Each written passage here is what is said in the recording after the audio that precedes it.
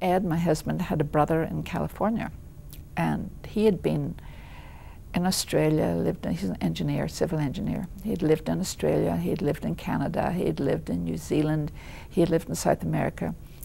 And he wrote to us and said, you know, California to me is the best place I've ever lived. He lived up in the Bay Area in San Francisco.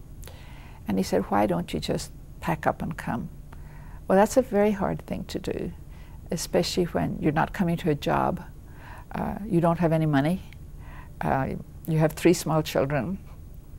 I know lots of people do it.